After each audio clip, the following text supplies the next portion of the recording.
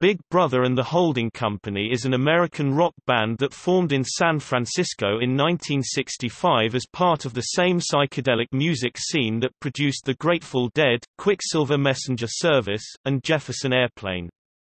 They are best known as the band that featured Janis Joplin as their lead singer.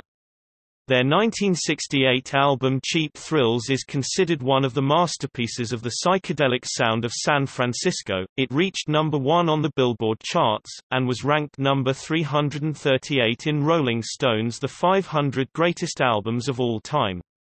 The album is also included in the book 1001 Albums You Must Hear Before You Die.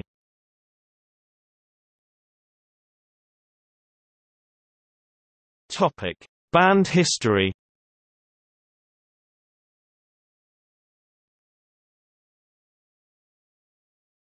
Topic: Roots in San Francisco. Leader Peter Albin, a country blues guitarist who had played with future Grateful Dead founders Jerry Garcia and Ron McKernan, met Sam Andrew, a professional rock guitarist with a jazz and classical background. After playing together at Albin's home, Andrew suggested they form a band. The pair approached guitarist James Gurley, the resulting threesome playing open jam sessions hosted by entrepreneur Chet Helms in 1965. Helms found them a drummer, Chuck Jones, and Big Brother and the Holding Company was formed at their first gig, the Trips Festival in January 1966. In the audience was painter and jazz drummer David Getz, who soon displaced Jones. Big Brother went on to become the house band at the Avalon Ballroom, playing a progressive style of instrumental rock. Feeling a need for a strong vocalist, Helms contacted Janis Joplin, who at the time was considering joining up with Roky Erickson of the 13th Floor Elevators. She traveled to San Francisco from Austin, Texas and debuted with Big Brother at the Avalon on June 10, 1966.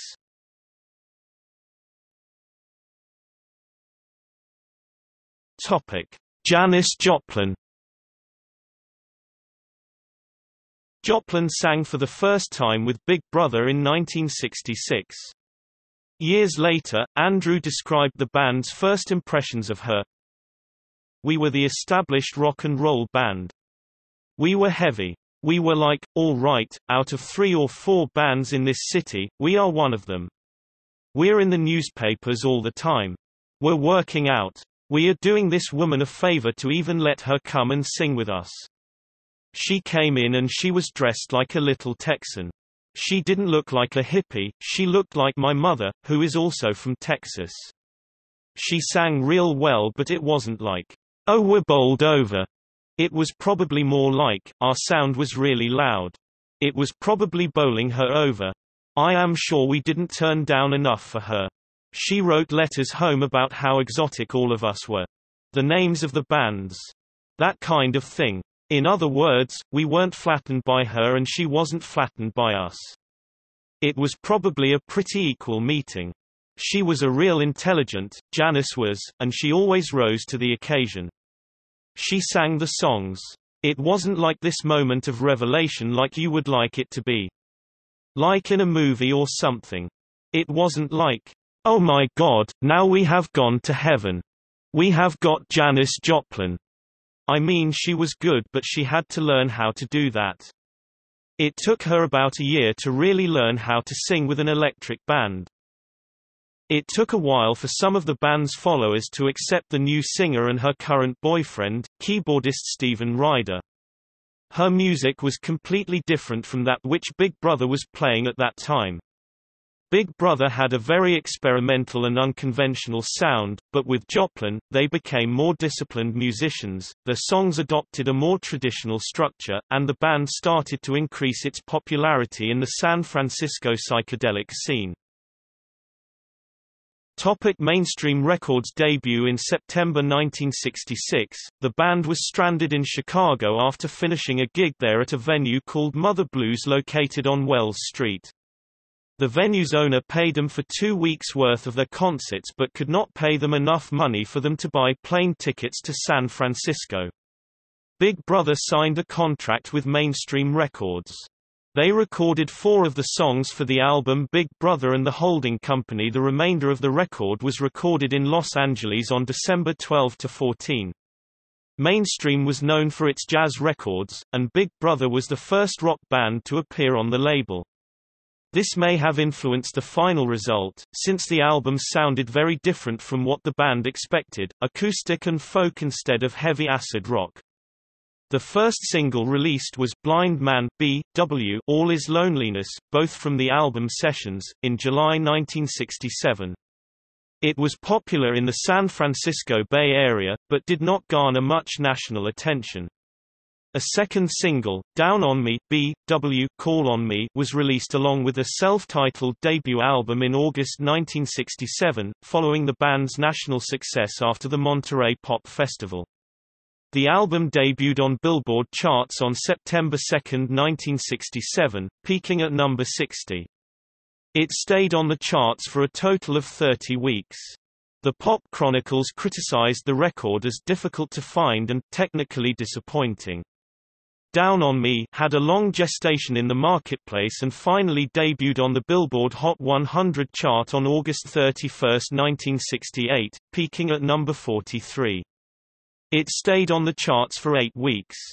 Other singles from the album were released through the end of 1967 and in 1968. One final mainstream single, Cuckoo B. W. The Last Time, was released after the band's second album was issued by Columbia Records in November, 1968. These last songs were from the original album Sessions, but were not included on the LP until Columbia acquired all of the band's mainstream recordings and reissued the album in the 1970s. In the fall of 1966, the band members moved to Lagunitas, in Marin County, California, to a communal house. Later in 1967 they put an ad in the San Francisco Oracle with the apparent intention of moving back to the city. The ad read, Big Brother is returning to the city. Need rehearsal hall and a place to live. Write to BB and the HC at Box 94 Lagunitas.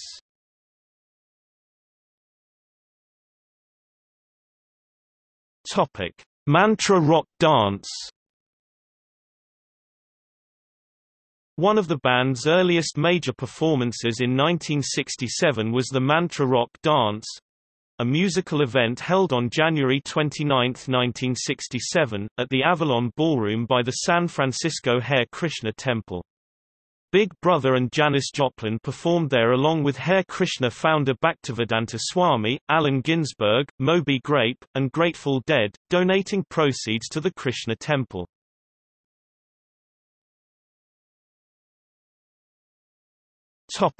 Monterey Pop Festival The band's historic performance at the Monterey Pop Festival in June 1967 attracted national and international attention. The band was scheduled to play on Saturday afternoon, with a set which included, Down on Me, combination of the two, Harry, Roadblock, and Ball and Chain. However, the band's manager decided not to allow Pennebaker's film crew to film and record them without paying them, and ordered the crew to turn its cameras off. The festival promoters thought the band performance was great, and asked them to play again the next evening in order to record it on film, but they played only two songs, "'Combination of the Two' and "'Ball and Chain'. I remember being amazed that this white woman was singing like Bessie Smith. Said Michelle Phillips once, I was astounded. They signed a contract with Columbia Records that November, and Albert Grossman became their manager.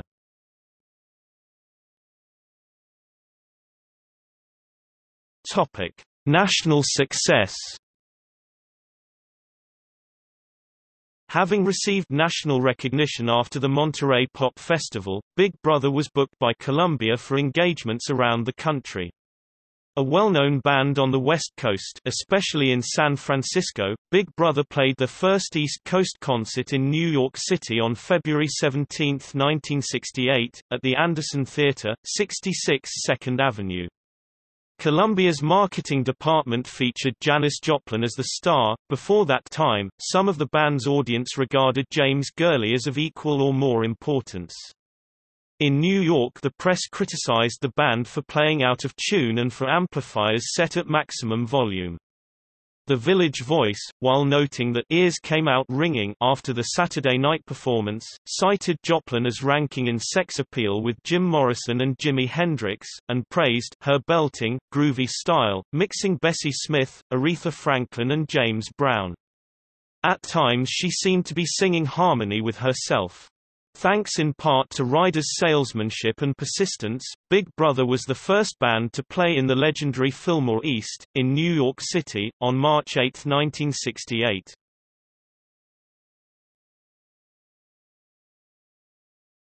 Topic. Cheap Thrills and split with Joplin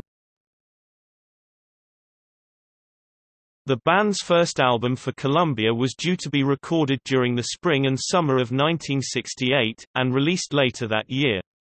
It was eagerly anticipated after the first LP had been largely ignored.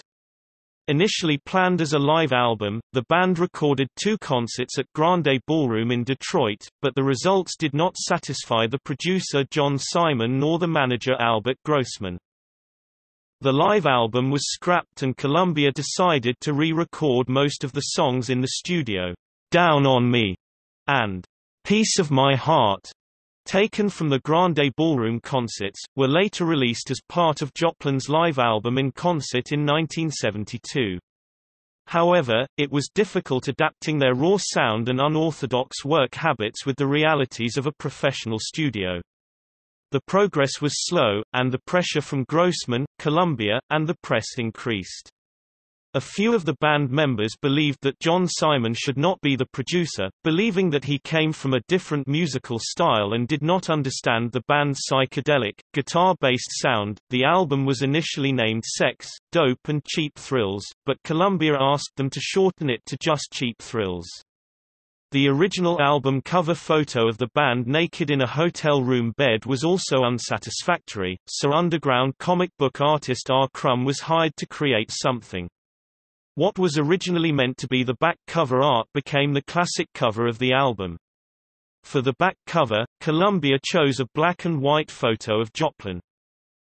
Ball and Chain is the only song on the album recorded entirely live, and even though the cover credits assert that the live material was recorded at Bill Graham's Fillmore Auditorium, it was actually taken from a concert in Winterland Ballroom in 1968, the same version that appears on the album Live at Winterland 68, released in 1998. The performance of Ball and Chain as released on the Winterland album features a different opening guitar solo by Gurley, indicating that he had dubbed a different intro for the Cheap Thrills issue. The LP was released in August 1968, one year after their debut album, and reached number one on the Billboard charts in its eighth week in October. It held the number one spot for eight non-consecutive weeks, and the single, Piece of My Heart, also became a huge hit. By the end of the year it was one of the most successful albums of 1968. It was certified gold by the RIAA on October 15 that year for $1 million worth of sales, with subsequent sales pushing the total over a million units. Even though the album was released with only seven songs, the other eight songs which were not included were released on subsequent albums. Catch Me Daddy and Farewell Song were among their most popular songs. These plus Magic of Love, a medley of Amazing Grace and High Heel Sneakers, and an outtake of Harry first appeared on Farewell Song, a posthumous Joplin release in 1981. They also appeared on the 3-CD set Janis in 1993. It's a Deal and Easy Once You Know How were released in Box of Pearls in 1999. Flower in the Sun and Roadblock were released on the Cheap Thrills reissue CD as bonus tracks. Piece of My Heart would be reissued on a single in the Columbia Hall of Fame Oldies series, backed by the title cut from Joplin's first solo album, I Got Dem Ol' Kozmic Blues Again Mama. At the end of the summer of 1968, just after appearing at the Palace of Fine Arts Festival in San Francisco, Joplin announced that she was leaving Big Brother in the fall of that year. The official reason given was her desire to go solo and form a soul music band. Andrew and Ryder also planned to leave the band to join Joplin in her new project. Joplin played with Big Brother on a nationwide tour throughout October and November 1968. It included an October 20 concert at a roller rink in Alexandria, Virginia. Their final concert was in San Francisco on December 1, 1968. It was a benefit for the hippie commune known as the Family Dog whose members included Chet Helms, the band's manager from two years earlier. Three weeks after this benefit concert, Joplin and Andrew played in Memphis for the first time with her new band, later called Kozmic Blues Band.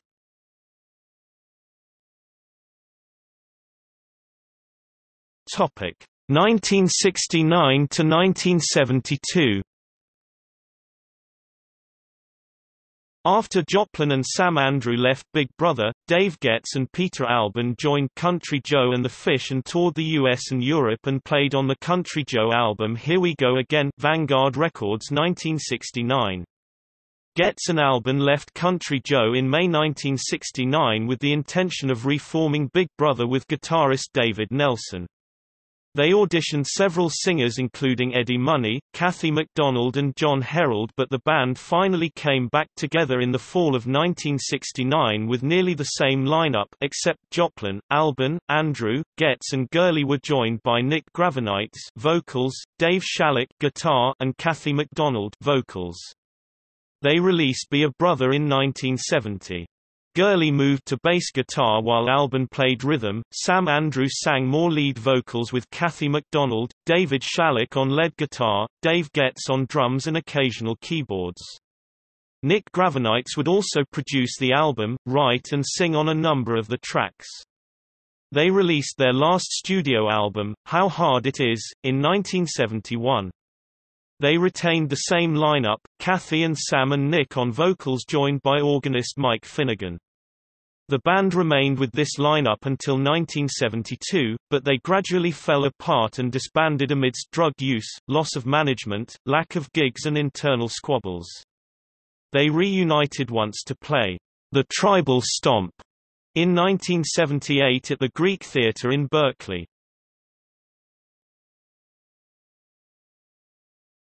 Topic 1987 present The latest incarnation began in 1987, and has been touring part-time ever since with most of its classic lineup, including Sam Andrew, Peter Albin, Dave Getz, and James Gurley. Gurley left in 1997 because he did not support his colleague's idea to hire a female singer to replace Joplin. He was replaced by Tom Finch. Big Brother did not have a fixed lead singer until 2011. Mitchell Bastian, Lisa Battle, Hallie Devaston, Lisa Mills, Jane Kitto, Aus, Andra Mitrovic, Casey Clanton, Sophia Ramos, Mary Bridget Davies, Duffy Bishop, Lana Spence, Chloe Lowry, Jane Meienget, Lynn Asher, Kate Russo Thompson, Darby Gould, Maria Stanford, Jerry Verdi, and Superfly's Shiho Ochi were among the singers that have played in concerts with them. Kathy Richardson became the band's official lead singer in 2011, with Ben Nieves having replaced Finch as guitarist in 2008. Other guitarists performed and toured with Big Brother including Chad Quist, Joel Hoekstra, and even Kate Russo Thompson on electric violin as second guitarist. In 1999 the band released the album Do What You Love, with Lisa Battle as the lead singer. The album contains some new versions of songs like Women is Loser. They recorded the live album Hold Me, with Sophia Ramos on lead vocals and Chad Quist on guitar, in Germany in 2005, and released it in 2006. In 2008 they released the two CD set The Lost Tapes, with songs recorded at concerts between 1966 and 1967 in San Francisco, and featuring Janis Joplin as lead singer. Some songs had already been unofficial releases, but there are 12 never-before-released songs. Former guitarist James Gurley died on December 20, 2009, of a heart attack, just two days before his 70th birthday. Sam Andrew died on February 12, 2015, following complications from open heart surgery due to a heart attack suffered 10 weeks prior. In October 2016, the band went to Europe for a short tour in the Netherlands, with the following lineup Dave Getz on drums, Peter Albin on bass, Tom Finch on guitar, Kate Russo on electric violin, keyboards and vocals, and Eileen Humphreys on lead vocals. Venues included the North Sea Jazz Club in Amsterdam, De Bosuil in Weert, Het Paard in The Hague and Luxor Live in Arnhem. Big Brother and the Holding Co. live in the Lowlands was released in 2017 on DVD and CD by Marista Records featuring this lineup in Weert.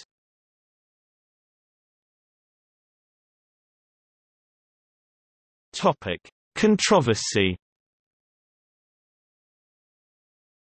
In 2007, following the induction of Cheap Thrills to the Grammy Hall of Fame, former guitar player James Gurley described Big Brother as the most maligned band ever, since they never received appreciation for the arrangements they did and all the engineering tricks he came up with. Gurley also believed that Clive Davis told Joplin to leave the band and record her songs with studio musicians, who could play better. In the documentary 900 Nights, Peter Albin said that the manager Albert Grossman told Joplin to leave Big Brother and form her own band, with studio musicians, in order to spend less money on recording sessions. Sam Andrew said later that Joplin left due to artistic and financial reasons. Joplin usually asked the band to have some keyboard or horns on at least some songs, but they said, No. You are going to change the Big Brother sound. The band was also doing the same songs a lot, sometimes three times a day, so she started feeling trapped. The band was splitting the money in five equal ways, while by leaving she could have all the money and just pay some employees and have a new band. In 1982, Columbia released the Janis Joplin album Farewell Song. The release displeased Big Brother's living members, since their original instruments were all replaced by studio musicians without consulting the band. James Gurley spoke about that in 1987, before the band's reunion, it's just a total bullshit record. Less than pre greater than slash pre greater than dot dot dot some producers dream at CBS.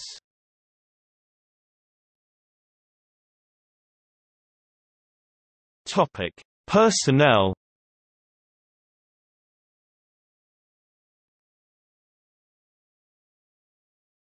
Topic: Members.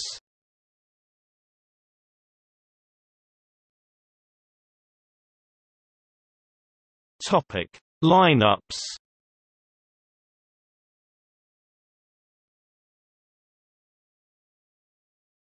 Topic.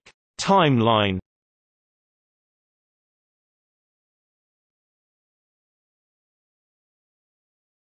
Topic. Discography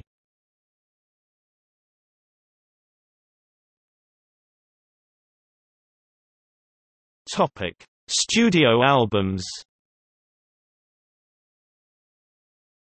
Topic live compilation albums Big Brother and the Holding Company live in San Francisco 1966 1966 in concert Janis Joplin 1972 Cheaper Thrills 1984 Joseph's Coat 1986 live at Winterland 68 1998 Hold Me 2006 The Lost Tapes 2008 live at the Carousel Ballroom 1968 2012 Topic: Singles.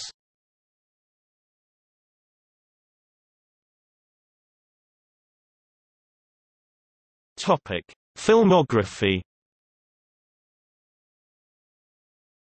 Monterey Pop 1968 Petulia 1968 Janis The Way She Was 1974 Comin' Home 1988 900 Nights, DVD, Pioneer Entertainment, 2004 Rockin' at the Red Dog, The Dawn of Psychedelic Rock 2005 Hold Me Live in Germany DVD Ryko Distribution 2007 Janis Joplin with Big Brother Ball and Chain DVD Charlie 2009 Topic See also List of bands from the San Francisco Bay Area